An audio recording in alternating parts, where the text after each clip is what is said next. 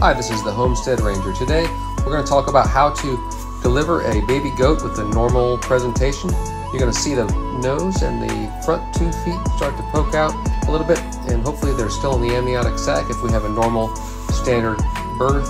You want to kind of adjust the perineum, kind of break the seal a little bit between the sac and the perineum and then you'll see that the feet and nose will advance out a little bit. You want to continue to kind of stretch and massage that perineum a little bit until the feet come out enough to be able to grab them. Once you can grab on to the two baby feet, the amniotic sac at some point will break. You just straighten the shoulders gently, very gently. You're not pulling hard. Once the shoulders are straightened, you stop. You break that seal again between the baby's face and the perineum, and then you continue to just kind of slide it out. It's not really a pool.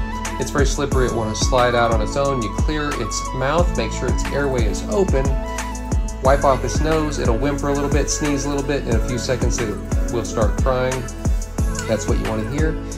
And then you want to give it straight to the mother so she can bond with the baby.